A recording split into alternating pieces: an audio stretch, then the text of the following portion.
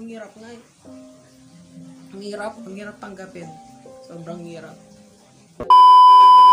What is up mga curly? And we are back for another video. Tuwan-tuwa ako dun sa last natin na video, yung nga na-review ko yung Spark 5 Pro. Hindi ko expect na ganun karaming uh, kakagusto dun sa video na yon at uh, hindi ko rin expect na marami ako matutulungan sa video na yon. Sa mga bagong subscriber ko, welcome sa channel ko.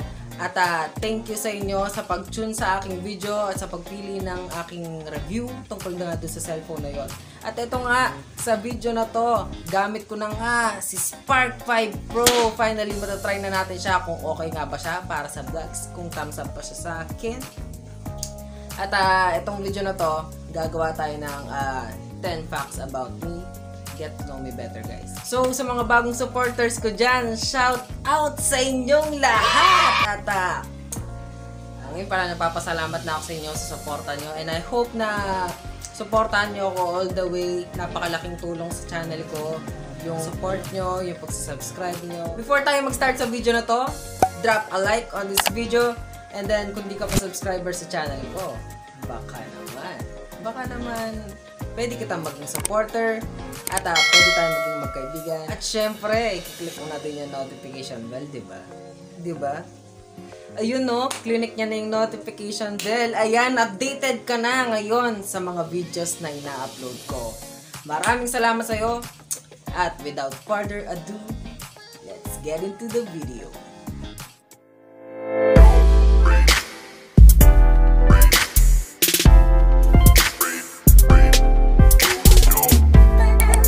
As you can see by the title of this video, ang pag-uusapan nga natin ay ang 10 facts about me. So, sa video na tayo, makikilala nyo talaga yung kung ano-anong bagay tungkol sa So, ang unang-unang fact about sa akin is, ang totoo kong pangalan is Josiah Jan Natividad. At uh, pangalawang panganay ako sa apat na magkakapatid. At uh, as you can see, kulot ako and uh, kulot din sila. uh, yung nanay ko, Bisaya siya. And yung dad ko naman, pure Kapampangan siya. At syempre, dahil taga Pampanga nga ako, I am proud to be Kapampangan. Birthday ko, March 30, 1997. And uh, I am 23 years old now. 24 na next. Number 2 is um, pet lover ako. At uh, ako yung tao na bang kapag ka naglalakad tayo sa daan tapos may makikita tayong aso or pusa, tapos ano, yung bang parang nakokontrol yung kamay natin na gusto natin silang hawakan, yung ganun. Kahit stray dog sila or hindi natin sila sariling aso or pusa, yun parang natitempt tayo na hawakan sila. yung ganun mga bagay ba? And currently, dito sa bahay, meron kaming uh, seven dogs and uh, one cat. Although yung parents ko, business nila yung uh, mga aso namin, nagbe-breed sila ng mga aso or yung sa dati. Uh, ako hindi ko talaga hilig or hindi ko talaga kaya na magbenta ng aso, magbenta ng pets ko. Or dati kasi may guinea pigs kami. Iba-iba yung mga naging alaga namin. Pero ako, once na naging alaga ko sila, yung bang parang tinuturing ko na silang family at uh, yung turing ko sa pets kasi yung kung paano ko rin ituring yung tao. Number three is, I always try new things. Tulad ng, uh, ito, itong nasa likuran ko. Yan yung mga achievements na nakuha ko nung nagbabike pa ako. Unang-una, nag nag-fixing muna ako and then uh, na-discover ko nga yung road bike. From there, nagka-interest ako sa duathlon. Ito yung, kung familiar kayo dun sa may running siya and then mag magbabike kayo up to the finish line. Naalala ko pa noon nung una ako nagbabike. Unang una nakakapunta muna ako ng Astro Park yan. Lagi kami tambay sa 7-Eleven. Yan naman yung tambayan ng mga siklista. Yan. Shoutout dyan sa mga siklista. Nung medyo matagal-tagal na ako nagbabike, nagpunta na kami ng Bulacan, um, sa mga tourist spots like uh, Monasterio de Tarlac. Nagkaroon din ako ng team, yung Team Tribe Thunder And then, ayun, nagkaroon kami ng group ride sa Minalungaw. Minalungaw, Pangasinan yata yun. Ayun, napakasaya nung moment na yun. So, from Pampanga, binike namin siya uh, hanggang sa Minalungaw. And then, pabalik, binike din namin siya. So, ganun, ganun kami katibay mag-bike noon. San Juan Tarlac, nagkaroon ako ng duathlon race. And then, bumabagyo nun, sobrang lakas ng bagyo. And uh, di na ako masyadong makatakbo ng maayos. Pero dahil first time ko yon tinake ko talaga yung opportunity, pinagpilitan ko siya, and then yun, hindi ko alam kung ano nangyari talaga sa mga legs ko. Ah, hindi ko alam kung napasma sila, pero minsan sumusumpong sila lalo na pag malamig ganyan. Ayun, and uh, yun, matagal na panahon din ako hindi nakatakbo nun. Ang last race ko at uh, last na pagtatakbo ko is yung Pilipinas Duathlon na naganap sa Clark. Sinagad ko na yung lahat-lahat ko doon and then uh, I think yung tinakbo ko doon is a 4 kilometers tapos uh, 32 kilometers na bike and then 4 kilometers ulit hanggang sa finish line. And then I think nabit ko siya ng 1 hour and 40 minutes something ganun. From 300 napunta ako sa 120 or 110 I think yun. Yun yung mga naunahan ko. Yun, uh, kaya sobrang saya sa feeling kahit na hindi ka naman talaga nanalo pero para sa akin nanalo na ako yun and then uh, after nyan uh, nahilig naman ako sa motor. Yun binenta ko na rin yung bike ko. Pero ngayon hanggang ngayon nakakamiss pa rin mag bike. Una normal na motor lang. And then syempre yan pag bago yung motor na medyo umay-umay tayo na gusto mong formahan ganyan. And then ayan hanggang sa napasok ko na nga yung tie yung mga tie na pagpoporma ng motor. Nagpupunta rin ako sa mga Thai motor shows. Uh, after naman doon, nung uh, pagkatapos ko doon, pumasok naman ako sa sayaw. Uh, nagkaroon naman ako ng katrabaho na dancer, na choreo siya. Tapos na-influensya niya ako na sumayaw. And then from there, marami akong nakilala sa larangan ng pagsasayaw. Hindi ako magaling na dancer, pero nakakasayaw ako. And then yung genre ko sa sayaw, ang napili ko is yung tramp na yung kasing dance na yun, kaya napili ko siya, doon ko talaga nalalabas yung emotion ko and uh, napipil ko yung kaluluwa ko na talaga na siya yung sumasayaw. Ayun. Yung parang nagiging totoo ako sa galaw ko, ganun. Kaya siya yung napili ko talaga na genre. And uh, na-enjoy ko siya sa kahit anong kanta, sa kahit anong beat, sa kahit anong oras, yun, nakakasayaw talaga ako. One thing na nakakatulong sa akin sa pagsasayaw is yung feeling kapag wala akong feeling, wala din buhay yung pagsasayaw. Number four, best assets. Hmm, I think, ano, nung hindi pa mahaba yung book ko, madalas nila napapansin sa akin itong mga mata ko nga. Ayan. Itong mata ko ang laging napapansin sa akin para daw akong merong eyeliner. Tsaka kung makikita niyo ako sa personal, yung pilik mata ko mahaba sila na parang pakulot sila na gano'n yun, so yung mga classmate ko na ng mga babae, nasabi nila sa akin na pwede bang makipagpalit ng pilik mata sa'yo, ganyan. Yun, palit tayo ng pilik mata, ganyan. Yung mga biro na ganyan. Kasi ako this yung book ko. Um, nung una ano, pangit talaga to dahil hindi ko nga siya alam ayusin. Uh, at nung elementary ako, meron akong dactyl, meron akong kulot na mahaba dito. At uh, yun talaga, lagi akong tinitingnan ng mga nagtitinda, yung mga teachers ko, gustong gusto nila nakikita yun yung kulot ko sa likod. And then maiksi nun yung buhok ko sa taas. At uh, yung kaklase ko kasi noon, lagi niyang hinihila yung ducktail ko. Kaya yun, nagsabi sa dad ko, siya pa nung kasi nagugupit ng buhok ko. Kasi nga, sabi niya daw sa akin, takot daw ako sa barbero, ganun. Ayoko daw magpagupit sa barbero. Kaya nag-aaral daw siya na gupitan niya daw kami, kami magkakapatid. So, yun, nagpagupit nun ako and then hanggang sa mag-high school ako, laging yung book ko, uh, maiksi siya. Dahil nga hate na hate ko talaga yung book ko noon. And then, after kong mag high school, ganun pa din naman. And nito lang mga 2019, nag-decide nga ako na itry na magpahaba ng buhok. And then, uh, yun, one year akong walang alam sa pag-aayos ng sarili kong buhok. At uh, hindi ko talaga siya alam i-manage yung struggle. Sobrang tindi talaga, guys. Sabihin ko sa inyo, sobrang tindi. ang hirap talaga maging kulot kapag hindi mo alam mawisin yung buhok mo. Kung quarantine nga, uh, dahil nag-lockdown, at uh, wala naman akong ibang magawa. Ayun, nag-search ako sa YouTube about sa mga kulot, sa mga natural hair. At uh, doon ko nga na-discover kung paano nga i-maintain yung buhok ko. At uh, tinake ko yung opportunity habang naka-quarantine na alagaan yung buhok ko at uh, uh, ayusin siya ng ayusin hanggang sa after ng quarantine nung pagpasok ko ulit sa work hindi na ako uh, tinutokso ng mga tao hindi na ako tinatawanan ng mga students at uh, ang lagi na lang nilang tinatanong sa akin is kung totoo ba yung buko kung piluka lang ba to or kung pinakulot ko lang ba siya, ganyan. At ah, araw-araw nun guys, nagsawa ako. Nagsawa talaga ako sa kakatanong nila sa akin kung totoo ba yung book ko, kung pinakulot ko lang ba siya, ganun. Kung magkano yung pagpapakulot.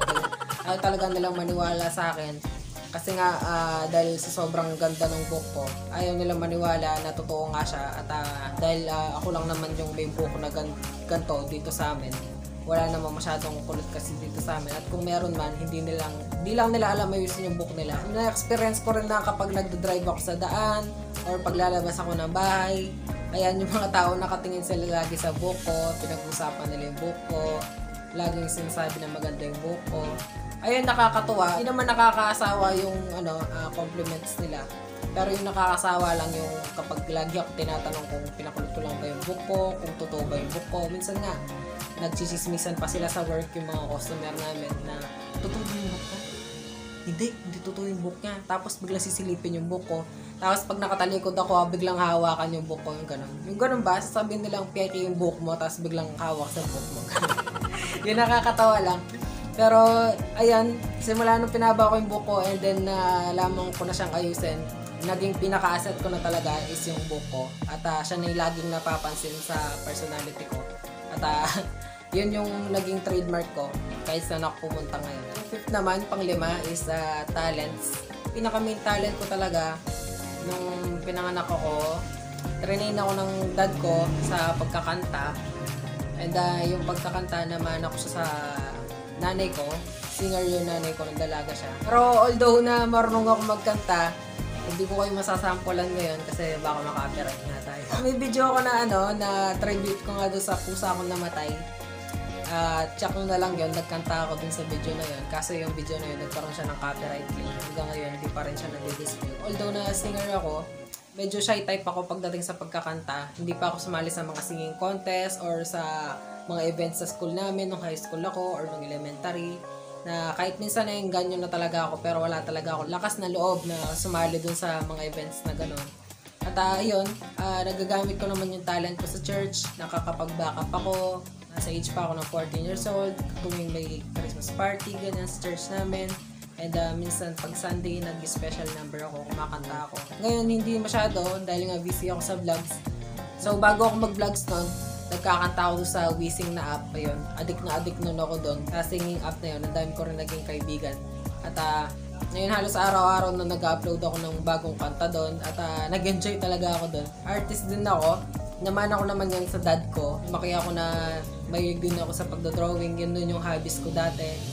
At ah, sa school nun sumasali ako ng poster making. Pero ano lang, for fun lang. Para makatakas lang sa ano, sa math subject.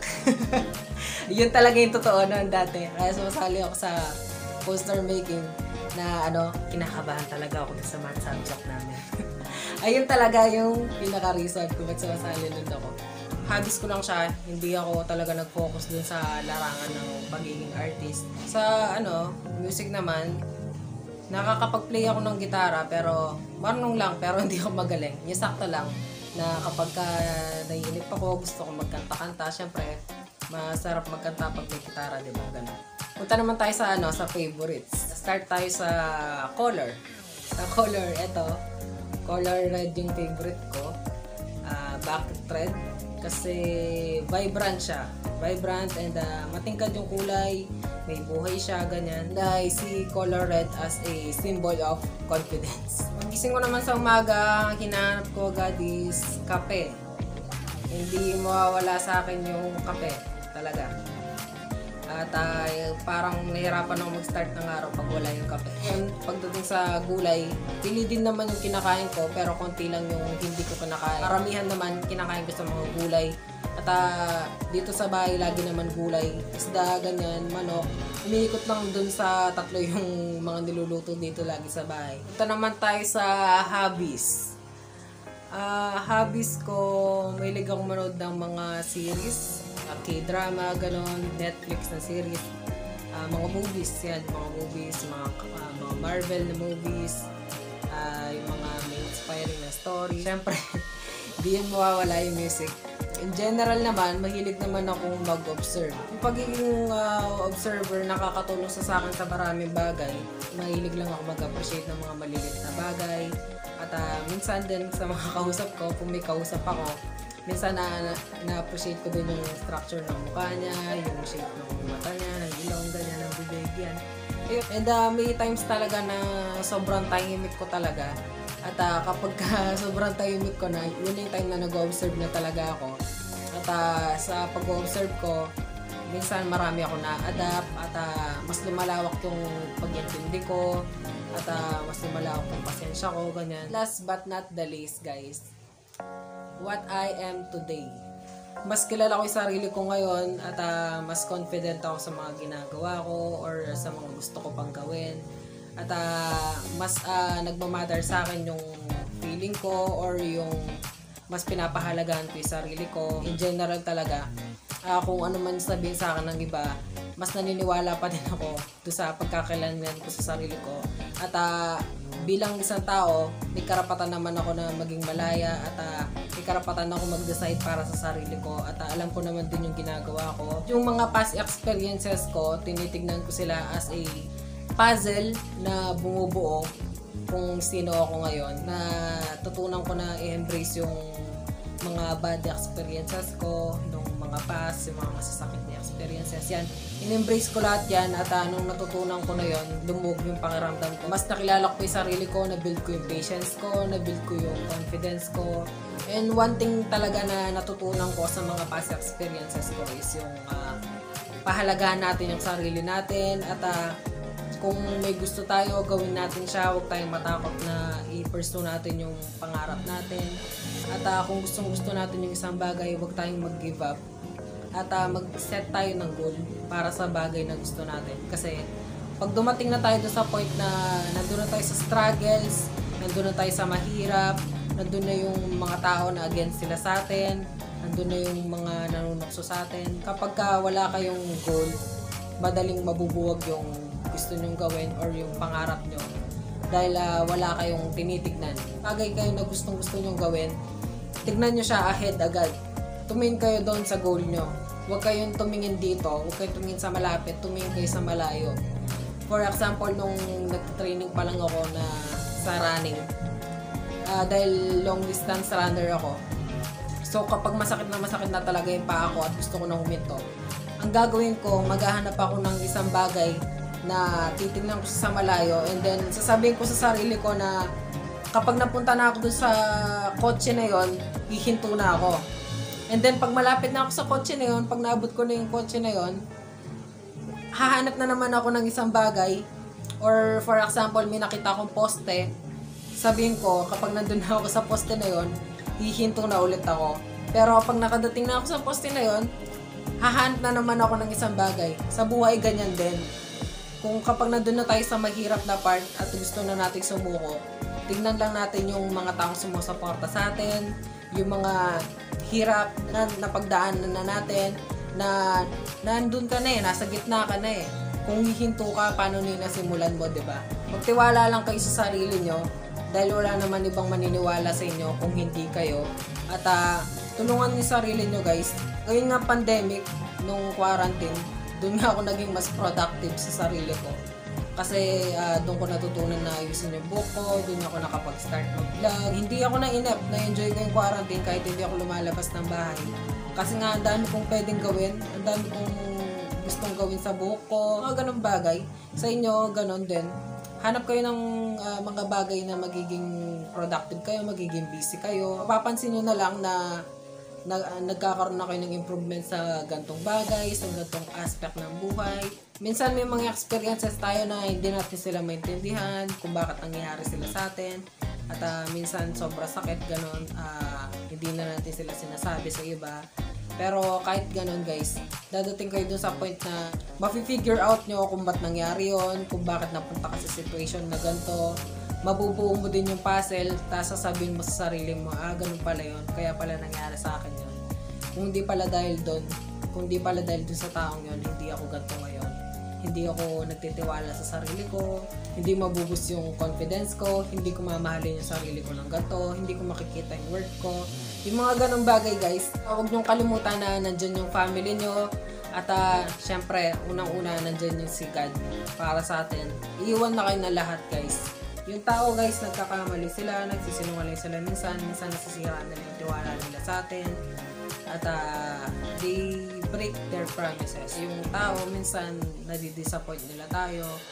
Tayo din, nadidisappoint din natin yung sarili natin. Pero si Lord guys, hindi, hindi niya kayo i-disappoint at hindi hindi niya kayo hahayaan na ma-down kayo at hindi hindi niya kayo hahayaan na mapunta sa sitwasyon na hindi niyo kaya uh, expect nyo pag napunta kayo sa sitwasyon na yan kaya nandyan kayo kasi kaya nyo. At uh, kaya nandyan kayo gustong ipakita sa inyo ni Lord na kaya nyo. Kasi kasama nyo siya eh. At uh, sinasabi niya sa iyo na nandito ako hindi kita iiwan at hindi kita pababayaan. And uh, one thing talaga na nakatulong sa akin para malagpasan ko lahat yung mga experiences ko sa buhay at uh, yung mga struggles ko sa buhay uh, is yung relationship ko with God. At uh, yan yung pinaka-importanting bagay sa akin, mawala na yung lahat, wag lang yung relationship ko sa Diyos. Si Lord, binibigyan niya tayo lagi ng chance. Uh, siya lang yung hindi tayo iniwan, lahat nagkamali niya sa atin, pero si Lord hindi hindi tayo dinidisappoint at uh, minsan yung mga blessings na dumadating sa atin, hindi talaga natin siya expected na dumating. Hindi natin sila deserve, pero dumadating pa rin sila sa buhay natin. At uh, sa pagising pa lang sa umaga, napaka-thankful ko talaga na nabibigyan pa ako ng isang panibagong buhay. Dahil hindi naman lahat ng tao nabibigyan ng uh, isa pang araw para mabuhay. At uh, ayan, uh, ayan. Kamamatay nga lang din nung kaibigan ko si Christian. Ano nga, nakakabigla nga kasi um, okay siya, okay lang siya eh. Tapos ano, nagkita pa kami nung last Saturday, nakausap ko siya ang saya sa niya. And then nung Monday, bigla na lang binalita ka na wala na nga daw siya. And yun, sobrang bait ng taong yun, wala nga akong masabi sa kanya. And naawa din ako sa mga kaibigan namin, lalo na doon sa mga kalus sa kanya. Hindi nila matanggap mahirap ka naman tanggapin kasi pagka kaibigan mo, lalo na ako first time ko namatay ng kaibigan. Mahirap, mahirap guys. Yung gala namatay yung pusa ako, ang hirap nga eh. Ang hirap, ang hirap tanggapin. Sobrang hirap. Lalo na kapag mahal na mahal mo isang bagay, lahat. mahal na mahal mo yung pusa mo, yung alaga mo, mahal na mahal mo yung, kaibigan mo. Siyempre, sobrang bait niya, wala ka man lang masabi sa kanya. Tapos, biglang ganun, makakagulat, di ba? Pero kahit ganun guys, ayun, patuloy pa din naman yung buhay. Ayun, nauna lang siya sa amin. Pero, one day, magkikita din kami, magsasama-sama din kami. At least siya, hindi na siya, hindi na, hindi na siya nahihirapan. Nandun na siya, nandun na siya sa payapan lugar. Guys, kahit na, ano, pagpasensyahan nyo na ako, kahit naluluha ako, kasi, ganyan lang, nagiging totoo lang ako sa mga vlogs ko. Kung ano yung nakikita niyo dito sa camera, ganun din ako sa likod ng camera. I hate na maging peke, lalo na sa sarili ko. So, yun guys, that's it for this video. I hope na mas nakilala niyo pa ako sa video na to. At uh, kung nag-enjoy ka sa video na to, at uh, kung mas nakilala mo naman ako, give it a thumbs up. At uh, kung ka pa subscriber sa channel ko, of course, click mo na yung subscribe button at i-click mo na yung notification bell para sa susunod na mag-upload ako. Ikaw ang unang-unang makakakita. And once again, stay safe. Peace out.